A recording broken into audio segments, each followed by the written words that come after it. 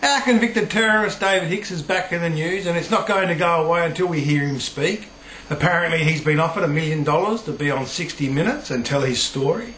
Now the thing is, I'd like to draw a comparison here with former South Australian Premier John Olsen, the Honourable John Olsen, who resigned from Parliament in 2002 after being found to have given misleading evidence to a judicial inquiry and to have falsified information.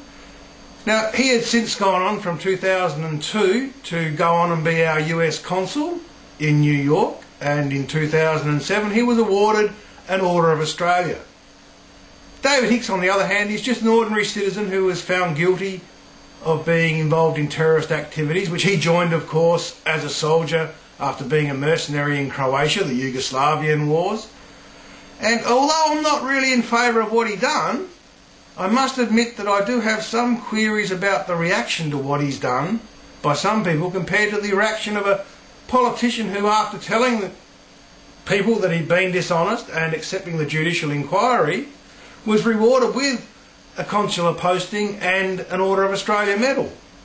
The point being this, doesn't David Hicks, as an ordinary citizen, have a right to continue with his life? We would never have heard of him before until the war on terror began.